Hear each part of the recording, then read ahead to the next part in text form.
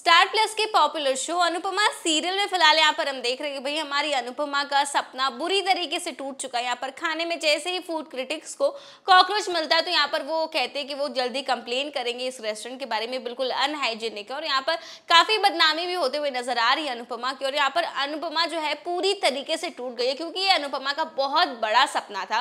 और हम देख ही रहे थे कि कितनी मेहनत की थी उसने ये ट्रॉफी जीतने में, ये मुकाम हासिल करने में।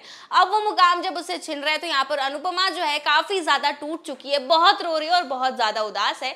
इसी के साथ आने वाले एपिसोड में हम देख रहे हैं भाई ये सब बातें जो घर वालों को पता चलती है, डिम्पी और काव्या को पता चलती है, वो लोग भी काफ़ी इमोशनल होते हैं और वो लोग बात कर रहे होते हैं कि अनुपमा जितनी अच्छी उसके साथ उतना ही बुरा होता है। लेकिन फ़िलहाल अभी सभी घर वालों को ये बात नहीं पता है और इसी के साथ यहाँ पर हम देख रहे हैं भाई घर वालों को और अनुज को यहाँ पर अनुपमा नहीं मिल रही और अनुज यहाँ पर अनुपमा को खूब खोजने की कोशिश कर रहा है और इसी बीच यहाँ पर हम देखते हैं कि उसे अनुपमा मिलती तो है, लेकिन एक सड़क के किनारे कोने में वो सोई पड़ी हुई रहती है और ये चीज़ देखकर अनुज को काफ़ी ज़्यादा दुख होता है। इसी के साथ वो अनुपमा को ज़बरदस्ती घर लेकर जाता है, क्योंकि यहाँ पर अनुपमा जो है वो घर जाने के लिए राज़ी ही नहीं है। उसे कुछ समझ ही नहीं आ रहा, वो सेंस में ही नहीं है जब से उसके साथ इतना बुरा हुआ। और यहाँ पर अनुज जो है, अनुपमा को ज़बरदस्ती घर ले जाएगा।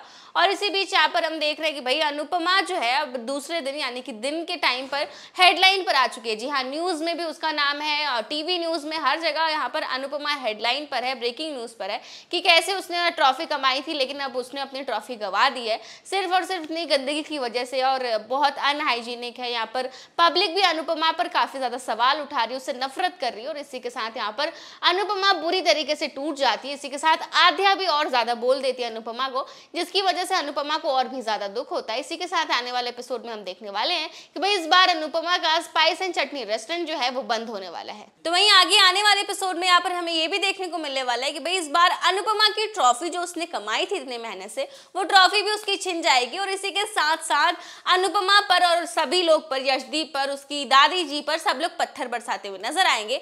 अब आगे आने वाले एपिसोड में देखना दिलचस्प होगा कि क्या इस बार अनुज जो है अनुपमा को इस दलदल से निकाल पाएगा या नहीं।